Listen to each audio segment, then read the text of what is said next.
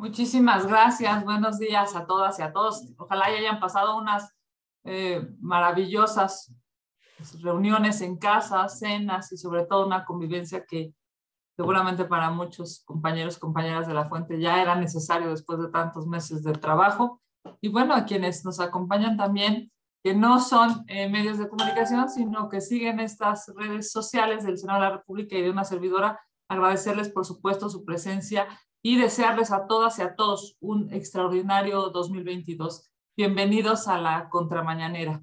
La falta de visión de este gobierno afecta a las familias mexicanas y cada día el dinero alcanza para menos. ¿Se acuerdan cuando siendo candidato el ahora presidente López Obrador se comprometió a bajar los precios del gas y de la gasolina? Por si no lo recuerdan, aquí eh, les tenemos este video.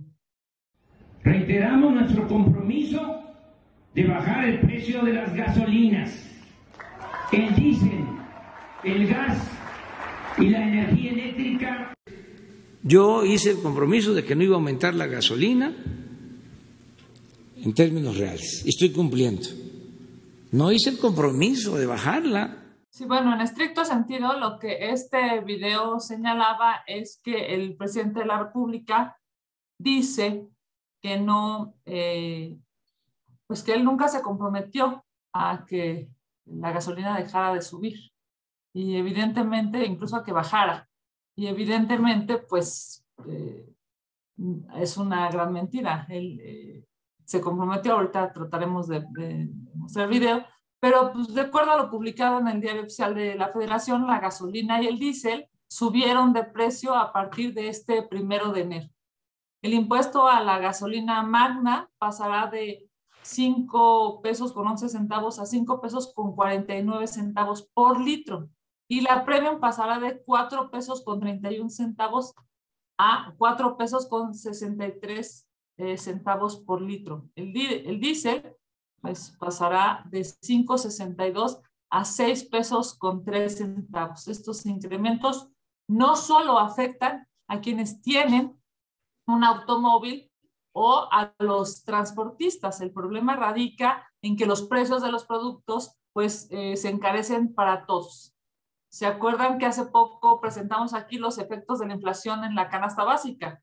Ahora imagínense que el tomate, la gasolina, la cebolla, el pollo volverán a subir sus precios y todo por las malas decisiones de este gobierno de no reducir el impuesto especial sobre productos y servicios. Si bien la Secretaría de Hacienda otorgará un estímulo en los precios de la gasolina y el diésel. Este estímulo va a ser, eh, según lo eh, establecido, del 1 al 7 de enero. Todos eh, sufriremos el alza a partir del 8 de enero. Pues pareciera que no es precisamente el mejor regalo de Reyes, ¿no? Vamos a ver cuál será la decisión de este gobierno. Sin embargo, aplazar eh, el problema no es la solución. La solución es que efectivamente no exista una alza.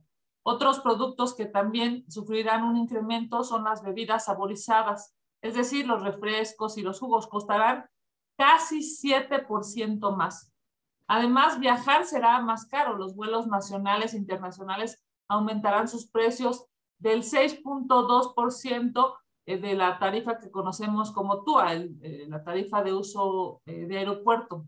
Como siempre, las políticas de este gobierno seguirán afectando a los mexicanos, a la inversión y a la movilidad. ¿Hasta cuándo este gobierno tomará medidas que beneficien a los mexicanos? La verdad es que no se ve una respuesta cierta. ¿Hasta cuándo la 4T dejará de ser una fábrica de pobres? En otro tema es necesario continuar levantando la voz desde aquí porque eh, a todas luces es muy lamentable lo que ha sucedido con esta consigna política y esta irresponsabilidad jurídica que ha hecho el presidente de la Cámara de Diputados. No obstante, no ratificó la denuncia, su irresponsabilidad está hecha y ante ello esperamos que las autoridades correspondientes emitan el acuerdo de no ejercicio de la acción penal y este tema que evidentemente vulnera a las instituciones no se vuelva a repetir.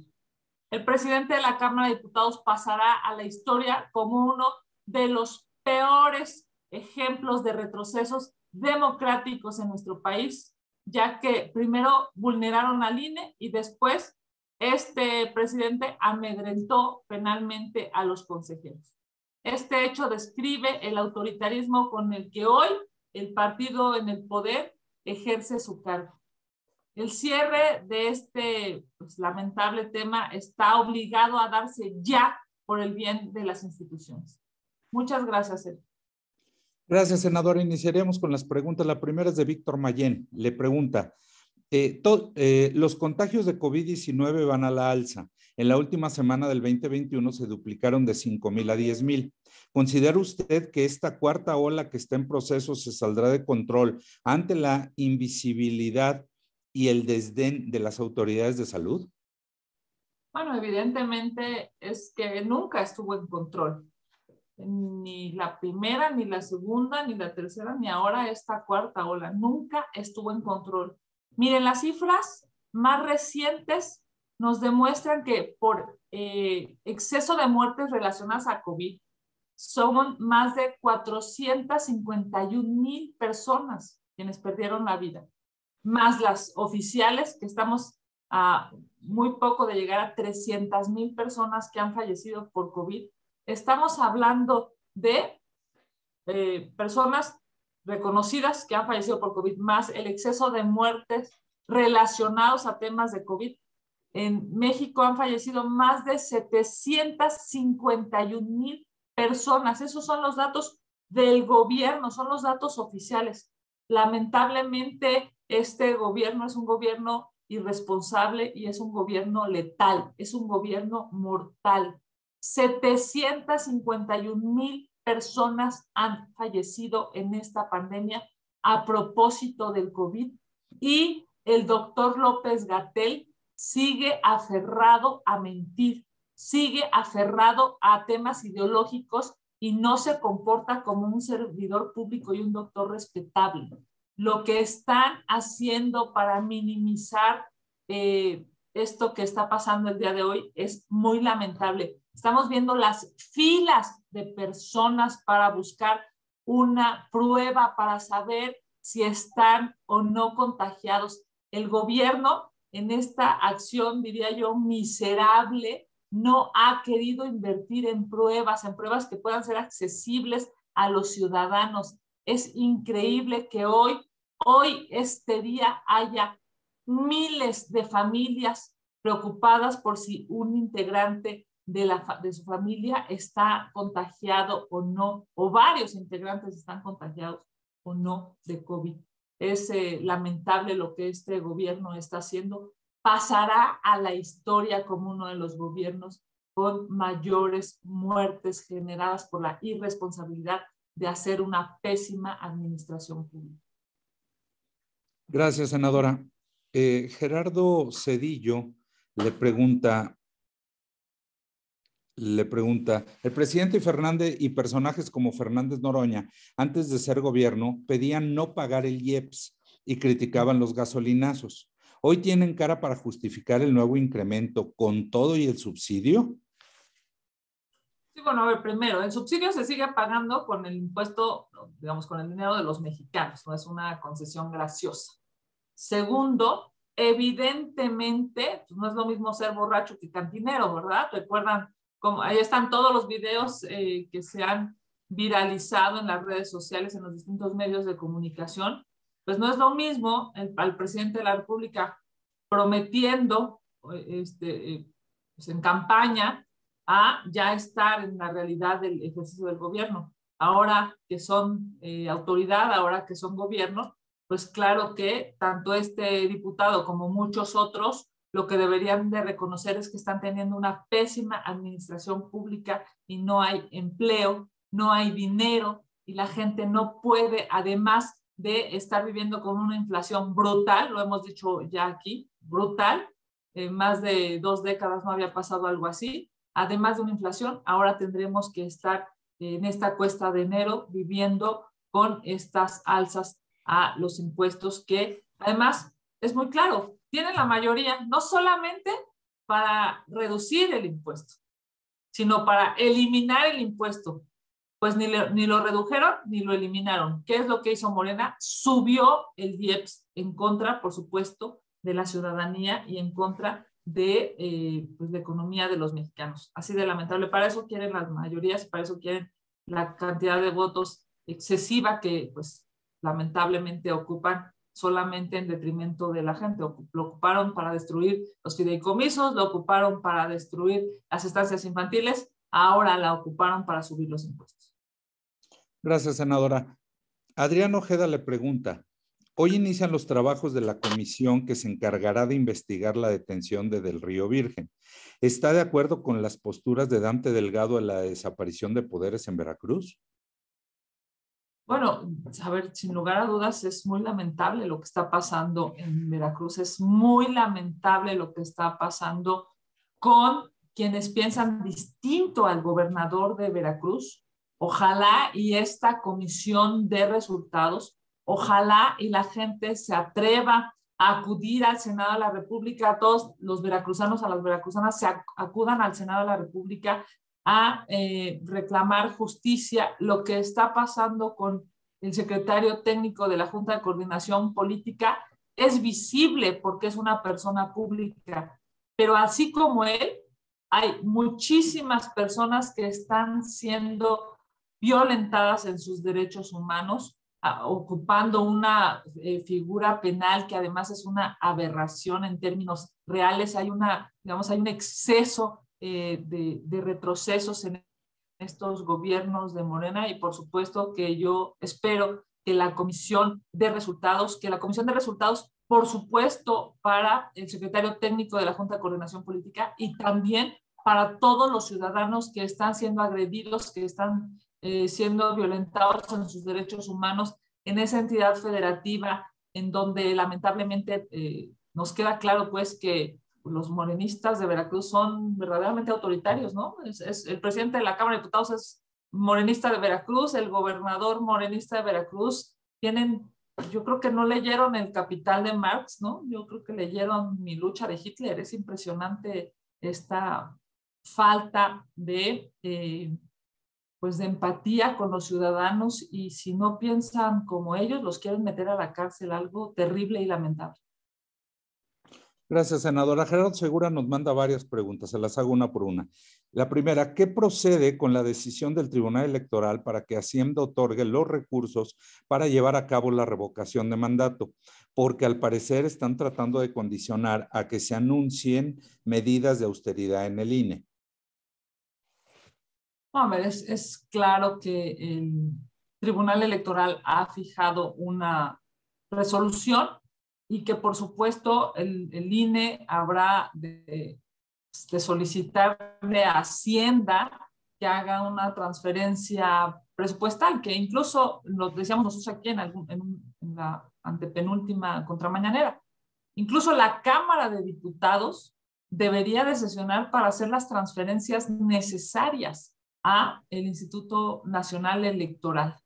Lo que corresponde ahora es resolver el tema económico, porque pues, claramente esto no se va a resolver con denuncias penales y esto no se va a resolver con amenazas desde el gobierno. Esto se va a resolver con recursos, así de elemental. Y ojalá, y lo digo pues, de verdad eh, muy preocupada por este tema, ojalá y no obliguen al INE a violar la ley, porque la ley es muy clara. La ley dice que debe de haber tantas casillas como hubo en la elección pasada. Y sin recursos, pues se volverá muy complicado. Es que ojalá y la Secretaría de Hacienda tome la decisión ya de reasignar los recursos necesarios para que el INE pueda llevar a cabo el mandato legal.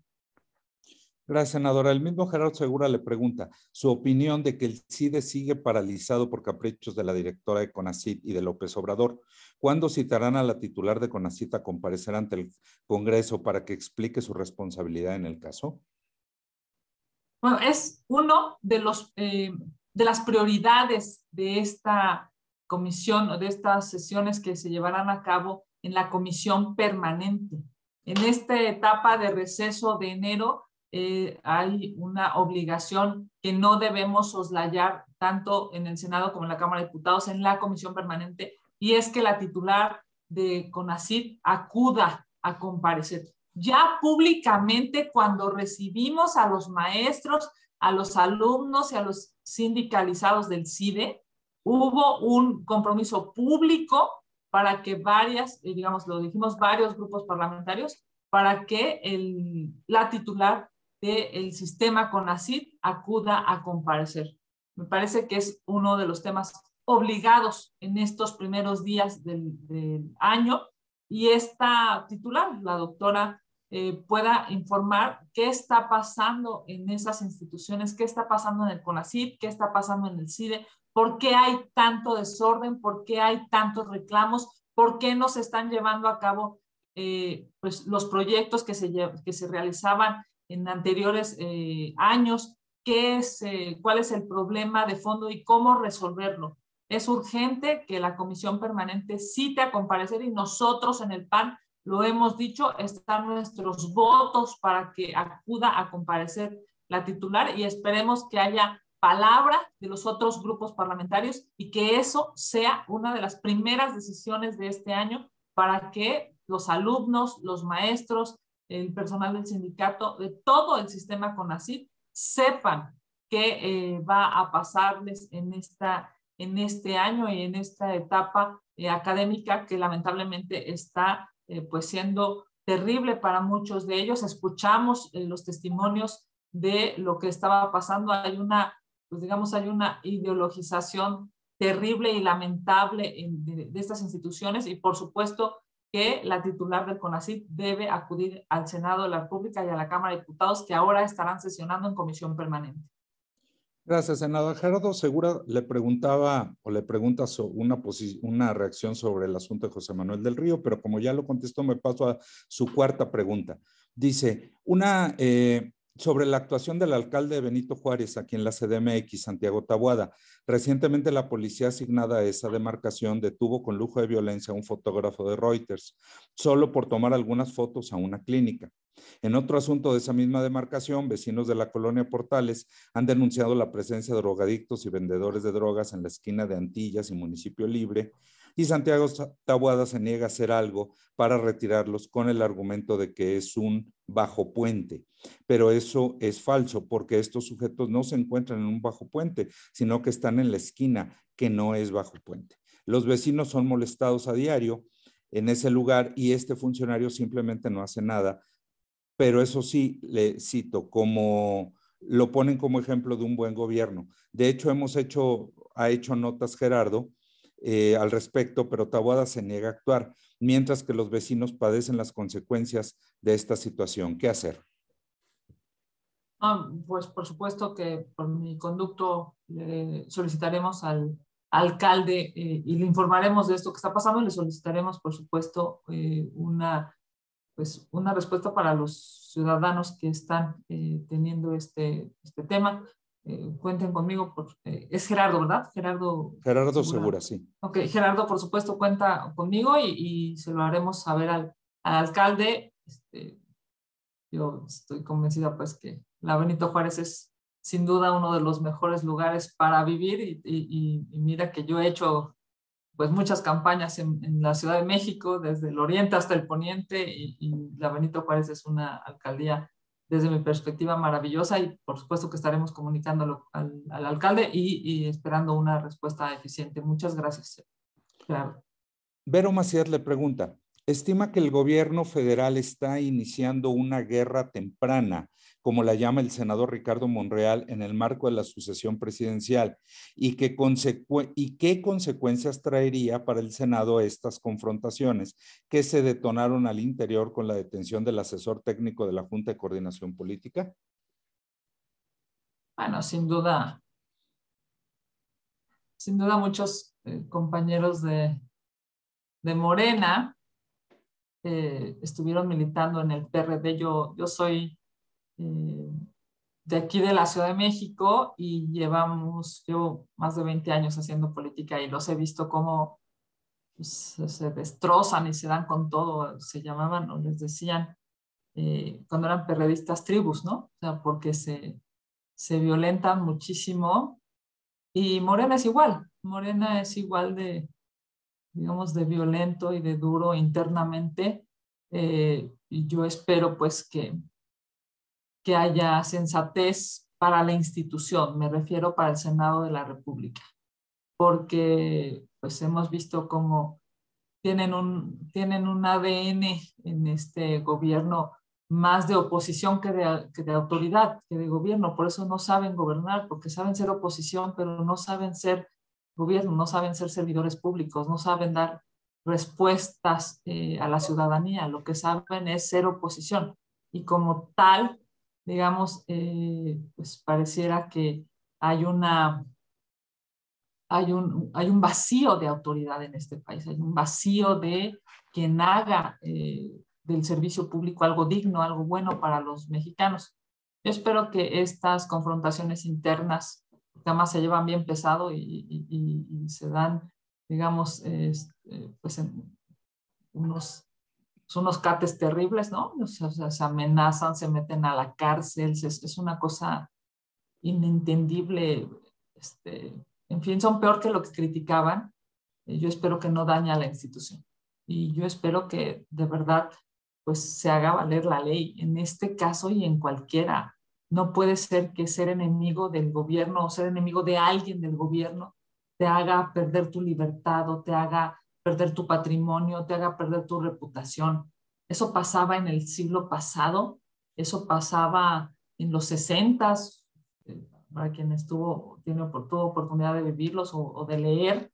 Eh, eso pasaba en los 60 en los 70 eh, lamentablemente pareciera que hoy hay un retroceso eh, muy lastimoso en, este, en este gobierno. el presidente de la República sigue actuando como priista de los 60, 70 y, y muchos de sus correligionarios siguen actuando como pues, como políticos de los 60 y de los 70 y eso es terrible para el país, terrible para las instituciones, terrible para lo que habíamos avanzado en términos democráticos. Gracias, senador. Y para finalizar, lo que tenemos registrado, Félix Muñiz está conectado y tomaría la palabra. Félix, te escuchamos.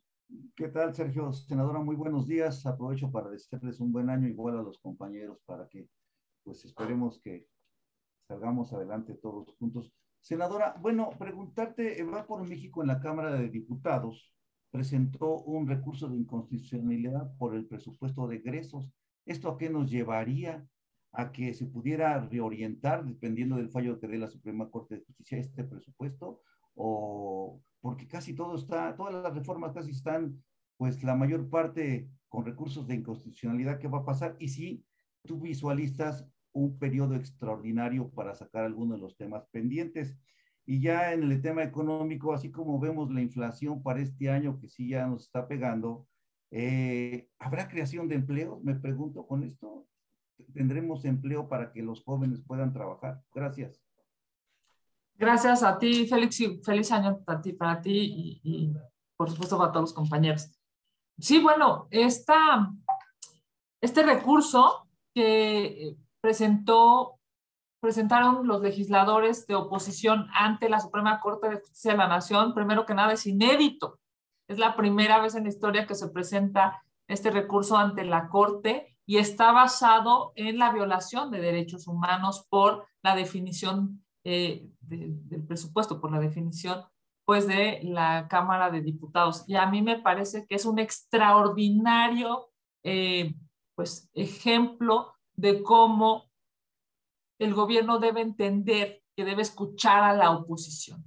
El gobierno en esta, con esta mayoría de votos que tiene durante dos mil ocasiones dijo no se puede cambiar el presupuesto. Era, para quienes seguimos las sesiones en la Cámara de Diputados, era impresionante. No se pudo cambiar nada en el presupuesto que la oposición haya eh, presentado, haya eh, pues argumentado incluso de manera extraordinaria en muchísimos casos. El gobierno y el, el partido del poder simple y sencillamente dijo no dos mil veces.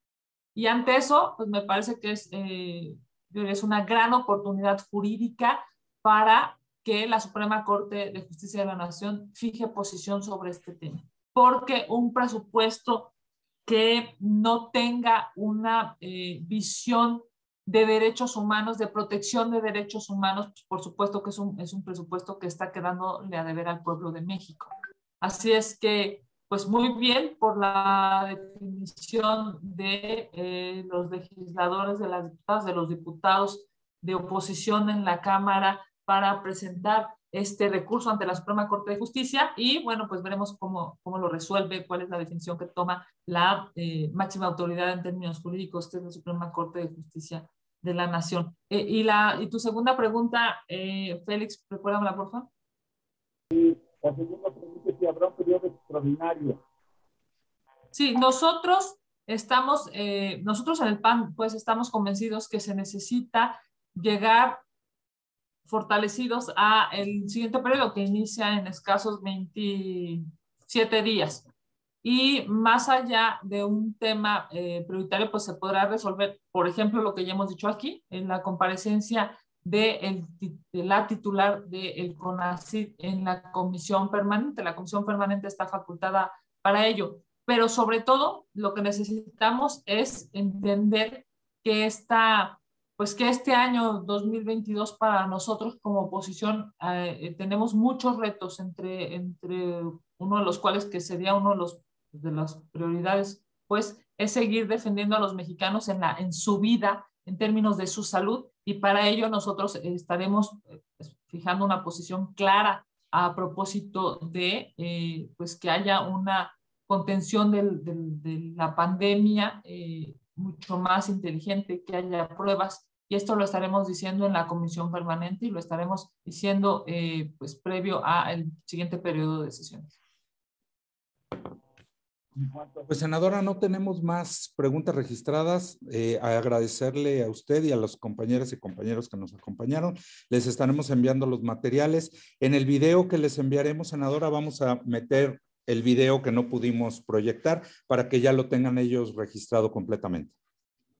Claro que sí, el video dura unos segundos y pues, lo vamos a insertar para que quede en el material. Seguramente ustedes han visto en las redes sociales y bueno, lo que dice es, en 40 segundos el presidente de la República dice y se desdice.